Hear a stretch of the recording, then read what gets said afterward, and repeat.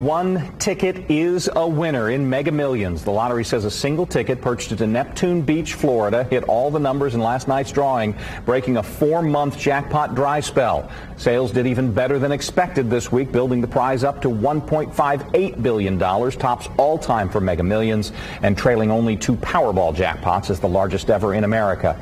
No word yet who won it or which store sold it.